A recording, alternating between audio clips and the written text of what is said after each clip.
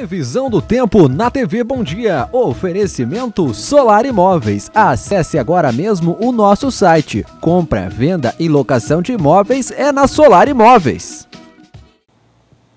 E o tempo para este domingo permanece fechado. O dia já começa com muita chuva, tendo variações mais para o final da tarde com sol. As temperaturas mínimas para Erechim registram 18 graus, com máximas de 22 graus. As mínimas para Faxinalzinho são de 19 graus, com máxima de 22 graus. Já as mínimas para Quatro Irmãos são de 17 graus, com máximas de 22 graus. Então, neste domingo, a previsão é de pancadas de chuva, alternando com sol e trovoadas. Um ótimo domingo para você!